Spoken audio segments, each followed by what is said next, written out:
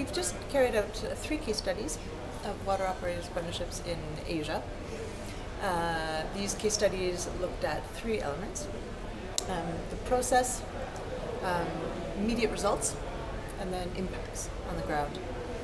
And um, three studies uh, involved different types of partners. So, so some were from Europe.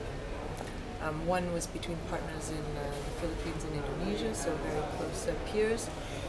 Um, another uh, with Australian partner and uh, Philippines. Can you say something about your the experience, the results of what's coming out of the uh, Indonesian case, for example?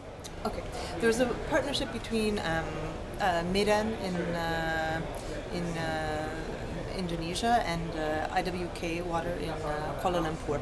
It was a sanitation-based WOP, and IWK, um, a leader in sanitation in the region, helped. Um, uh, Medan build demand for sanitation uh, in the city using a tool that was uh, developed by um, USAID um, to help promote sanitation amongst people because that was really basically what was lacking.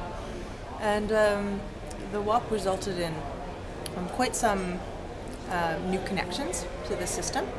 Um, I think there are 700 within the year of the partnership and there are 3,400 expected this year. Um, the so uh, the, the, increased capacity of the staff uh, and a number of changes in policy in the within the utility that are likely to lead to more substantial changes in, in the future. And what does this say for the whole WOP uh, in generally?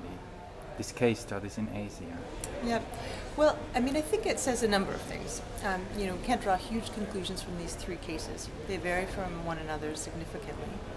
Um, obviously, it tells us more about the design, the importance of design and inputs into the WOP than it does about any, you know, any generalization about impacts. I mean, obviously, time and finances are really essential for making a, a WOP work and for seeing results.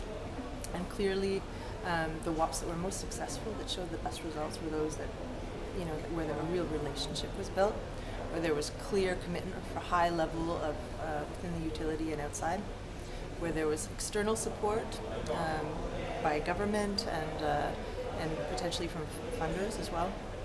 Um, so there, there, are a number of key elements that were identified uh, in this uh, uh, through these case studies. Um, there were common to common to all of them, sort of success uh, factors.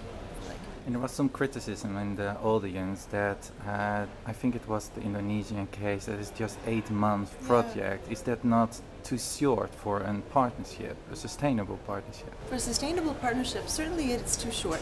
But I don't think that there should be. I think one of the things was identified today. There shouldn't be any kind of, you know, time limit to these things. I mean, sometimes there's funding for a short, very, um, you know, uh, results-oriented partnership on a specific topic, and uh, you know, it might achieve its uh, its aims, and the partnership may continue beyond that.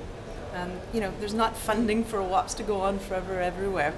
Um, so, you know, obviously, the longer a relationship that can be built, the better, the more room there is for trust to develop, um, for, for you know follow-up funding um, to be established. I wouldn't say there's a whole lot new. I think we know what makes WOPs, WOPs work.